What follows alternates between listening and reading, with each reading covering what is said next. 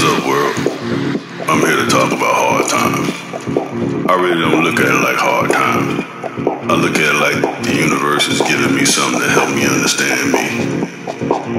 Because knowledge is power, but knowledge itself is true power. And to harness that power, you have to go through things to help you understand what you can and can't do.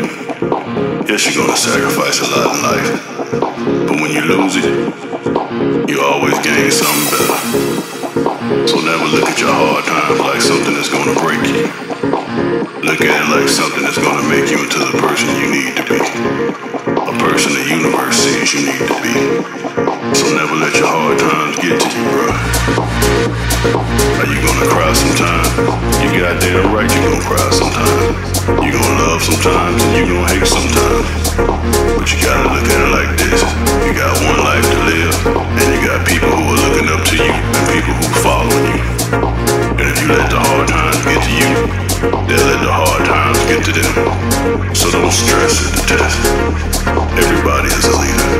Whether you like to be, don't want to be, or you wish you never were. So smile at the hard times. There's a saying that says when death smiles at you, you smile back.